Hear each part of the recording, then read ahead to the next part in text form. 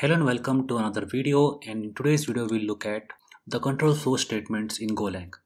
So the control flow statements are uh, of three types. One is if statement, another is if else statement and third one is if else if statement. So let me show you with an example. I will take a simple example of if statement. So if we have if and then true for example and curly braces open and close curly braces. This means this if statement will run whenever this value is true. And we can just print it out. Anything we want. If it's true. And if you go ahead and run this.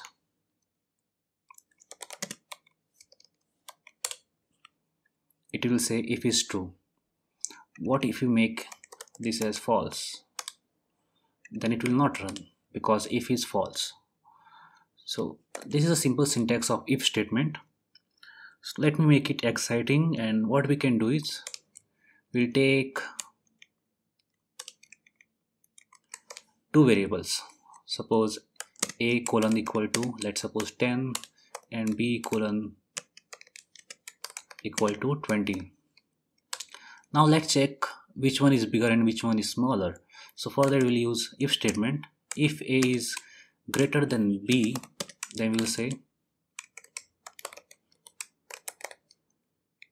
fmt.println we'll say A is bigger and if b is greater than a or you can write if a is less than b we can say b is bigger. And if you go ahead and run this it will say b is bigger because b is 20 if you make a as 30 it will say a is bigger. So this is a simple example. So in here I have used uh, relational operators greater than and less than. We'll also add one more operator suppose if a is equal equal to b. Then we'll say both are equal right? And if you go ahead and run this before that let's make b also 30 and if you run this it will say both are equal and there are many other relational operator. For example if a is greater than equal to b and then if a is less than equal to b so these are also relational operators. In here you can see that it is printing all the values. Suppose a is bigger than b is bigger and both are equal. That is because both of them are equal here if you go ahead and make this as 40 and let's remove this one let's remove this one. Just comment out.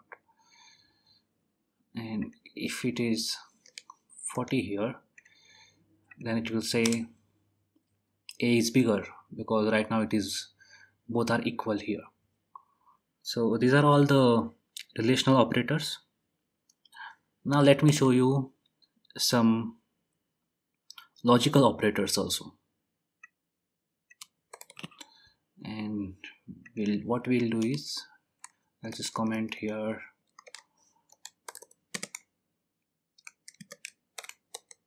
As relational operators and we put less than greater than less than equal to greater than equal to and equal equal to.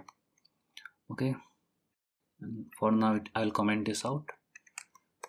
And now let's look at logical operators.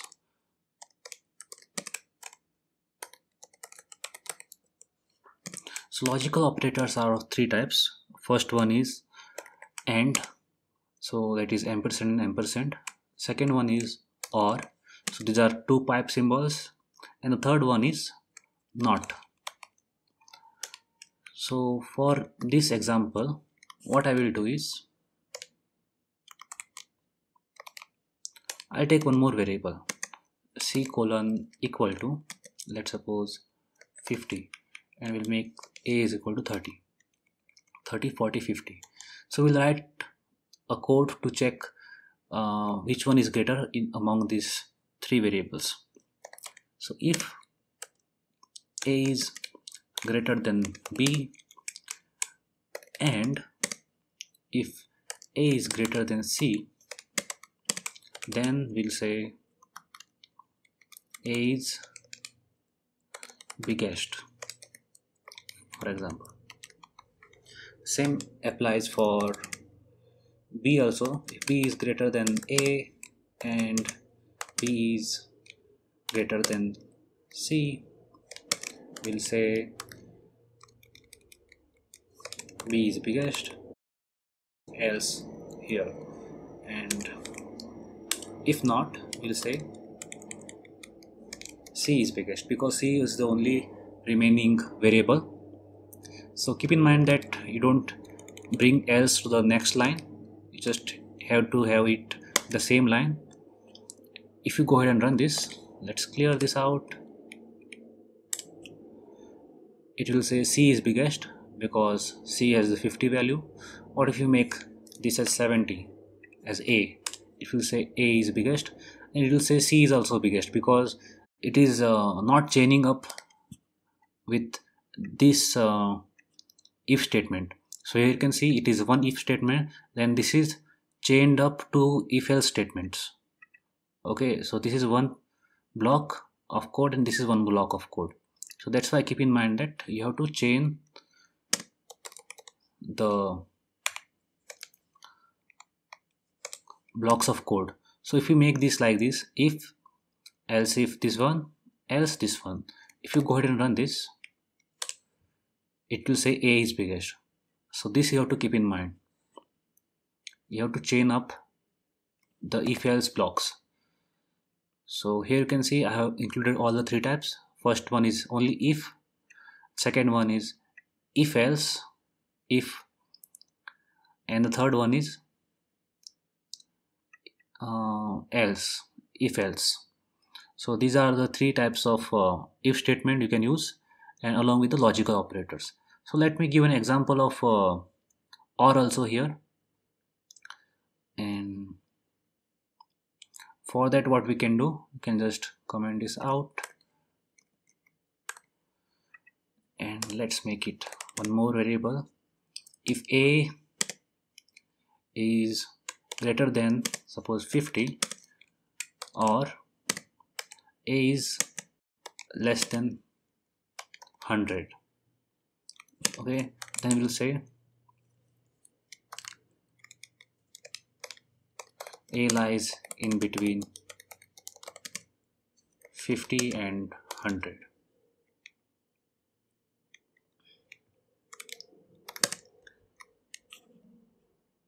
and it will give an error here because warning here because we have not used b and c. So let's go ahead and run this.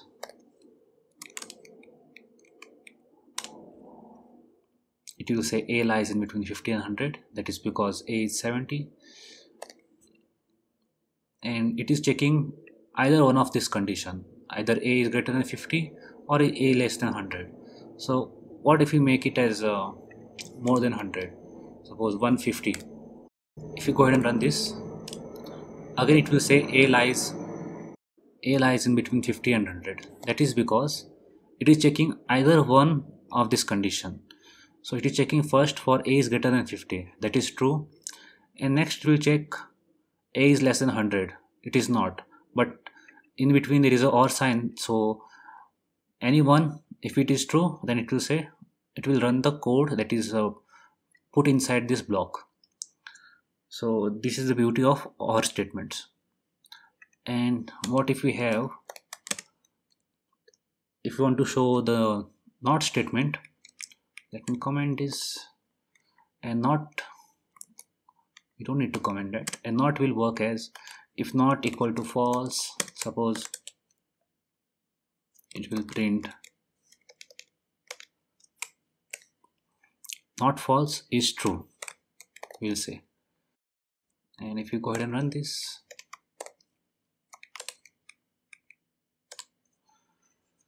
It will print true because not false is always true. If you make this as true not true is false so it will not print true. You can see it is false. Because not true is false so this if block will not run. This if block will run only if this is true. So when this is true it is only true when it is not false. So not false means it converts false into true due to this not symbol or it is you can say not operator one more very important thing you should know in golang is there is something called as uh, in other languages we have exception try catch ex exception blocks are there when we can ha handle the errors. But in golang we don't have that. In place of that we can use if statement so if we get an error we can check if it is not equal to nil and inside here we can handle the error. So this is the way you can handle the errors using if statement. So right now it is error is undefined but in golang programs you will have these errors which will be coming from different packages and all. And one more thing is that you can uh, initialize a value inside if statement also. For example if you have a variable called num. You can have num colon equal to let's suppose 100 then you can put semicolon. So this will create an initializer initializer syntax. Then we can say num is greater than 0 for example. And we can just print it out as a is positive.